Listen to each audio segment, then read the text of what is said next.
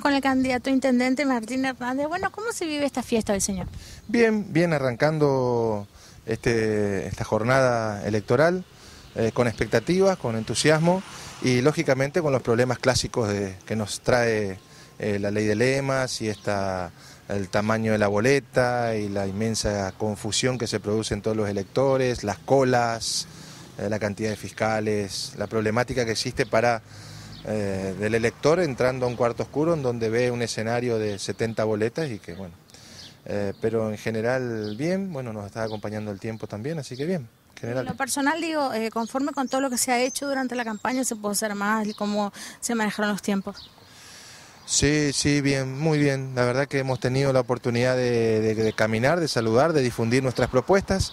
Eh, un poco en deuda, creo, la, sociedad, digamos, con nosotros con la sociedad por, por la ausencia de debate. Nosotros intentamos debatir eh, las propuestas y el modelo que proponíamos para el municipio y bueno, eh, no hemos encontrado receptividad a ese debate, que me parece que es lo que necesita la gente para poder tomar una decisión de, de elegir, que para eso están las campañas y para eso está un proceso electoral.